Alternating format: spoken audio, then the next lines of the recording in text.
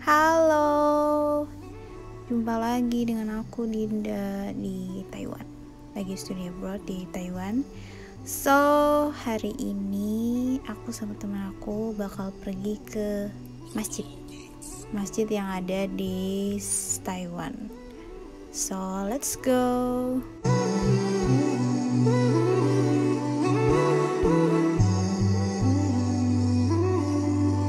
Kita naik U-Bike. Jadi di sini ada um, service pelayanan buat sewa sepeda.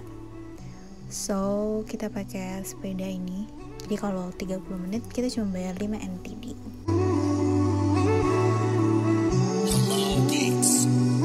Cara gunainnya sih gampang.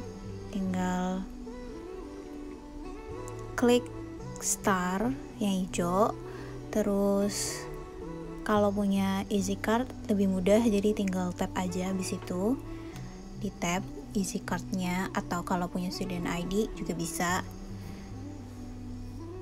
Terus tada akhirnya kita bisa. So habis itu baru bisa pergi. Ya ayo kita pergi ke masjid. Dan akhirnya kita sampai di seberang masjid.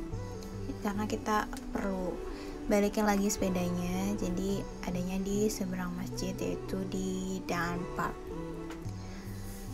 Nih. Ini adalah masjidnya Taipei Grand Mosque. So let's see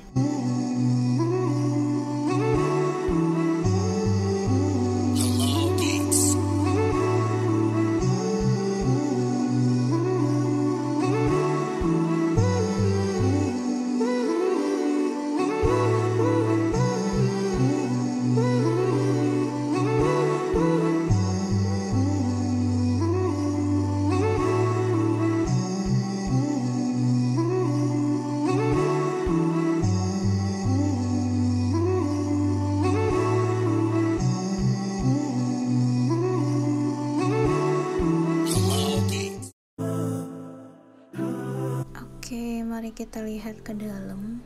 Ini bagian depannya. By the way, ini lagi ada acara sih di sini. Jadi lumayan rame. Di dalam lagi ada acara kajian.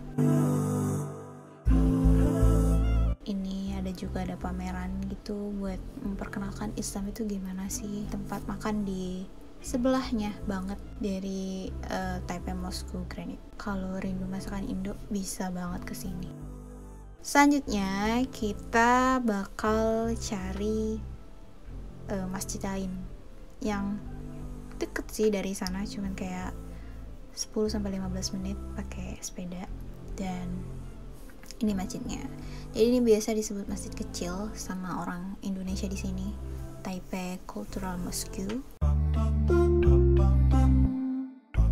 So let's see.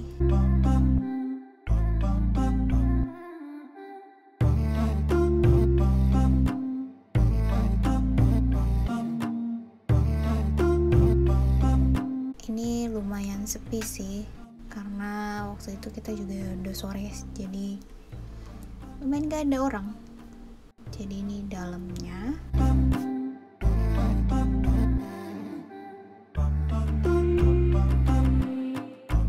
Terus bisa dilihat di sini ada Al-Quran juga